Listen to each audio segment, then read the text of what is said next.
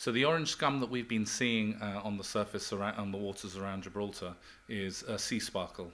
It's uh, um, Noctiluca scintillans is its scientific name, um, and it's a dinoflagellate, which is a, a, type of plankton that we find in the water. Here at the Nautilus, we've been studying this plankton for the last eight years, and what this is, this is consuming um, all of the, the green plankton because um, there's been there's been a lot of light and the green plankton now forms a, um, a, food source for these organisms. They are classed as a harmful algal bloom and they do regulate their buoyancy with ammonium chloride and that can degas uh, into the atmosphere. My personal recommendation is to, you know, don't go swimming in it.